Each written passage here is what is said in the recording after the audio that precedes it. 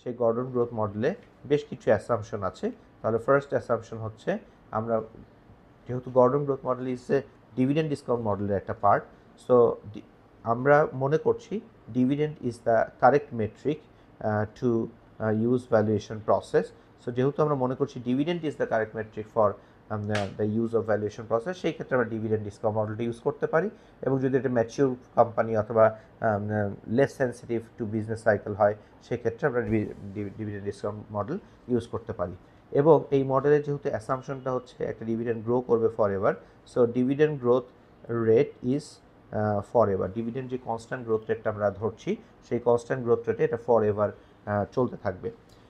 So তার মানে হচ্ছে the growth rate is perpetual it it never change the required rate of রিটার্নটাও is also constant মনে করছি required rate of রিটার্নটাও কোম্পানির change হবে না ওভার টাইম অ্যান্ড ডিভিডেন্ড যে গ্রোথ রেটটা that is strictly less than required rate of return dividend discount model growth dividend discount মডেলে যদি আপনি ফর্মুলাটা দেখেন সো ফর্মুলাটা হচ্ছে D one divided by R minus G এখন আর জি থেকে বড় হইতে হবে। আর জি থেকে কম হইতে পারবে না।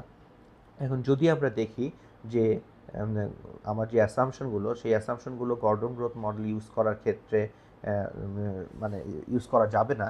তার কারণ হচ্ছে আমি যে কোম্পানিটা অ্যানালিসিস করছি কোম্পানিটা হয়তো ইয়াং কোম্পানি গ্রো করছে at a very high rate compare to the economy তখন ওই তখন আমরা যে কাজটা করি obviously that growth rate sustain করবে না for long periods of time কারণ যখন একটা ইকোনমি অ্যাবনর্মাল রেটে গ্রো করে বা সুপার নর্মাল রেটে গ্রো করে ওভার টাইম কম্পিটিশন আসে বা বিভিন্ন রকম কারণে আপনার গ্রোথ রেটটা স্লো ডাউন হতে থাকে ম্যাচিউর ফেজে এসে আরও স্লো ডাউন হয়।